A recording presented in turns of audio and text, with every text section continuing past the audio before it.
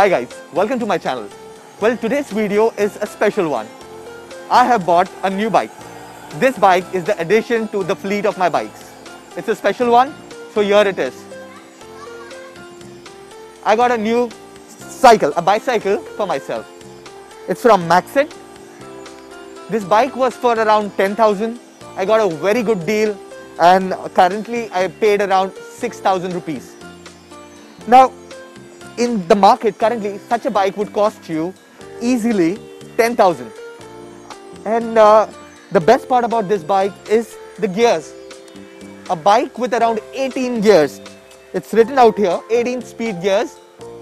You pay anywhere less, not less than 10,000. It could go up to 16,000. This is only for 6,000 from a branded company, Maxit. Now the bike is in complete stock condition. They are not giving any accessories, no accessories at all. I had to pay 99 rupees for the bottle holder and that's all that I get. Apart from that, the bike is standard. Earlier, they used to have a gear shift over here near the handle where you could accelerate and you could change the gear. But because of the servicing problem, they have stopped doing that. Now, they have come back to the normal standard one, which is the lever. You just need to keep pushing the lever to change the gears. And that's all it would be. Now this bike looks really nice. It does not have any kind of a guards, which ideally it should have, but currently it's not there. The suspensions are decent enough. The suspension look decent. They don't have any back suspension, so it's one suspension. And look-wise, the bike is beautiful. It look, it has a metal finish, a carbon metal finish, and uh, nothing much. Why not we just open it and see how exactly this bike looks.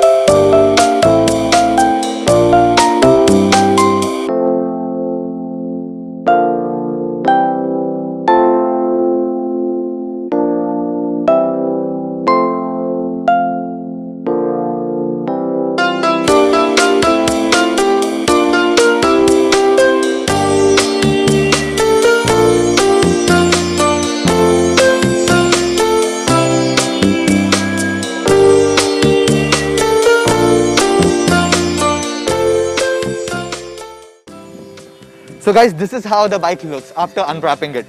I so love the color. It has the carbon finish. The color, this is orange. It goes hand in hand. It looks super beautiful. And the seat is like a cherry on a top. The black color with this marking, the graphics are simply fantastic.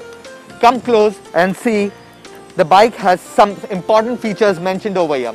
I'll give you a close-up look.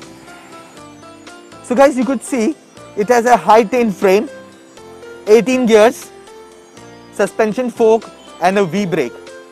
This is Maxit Next. I'm so in love with this bike.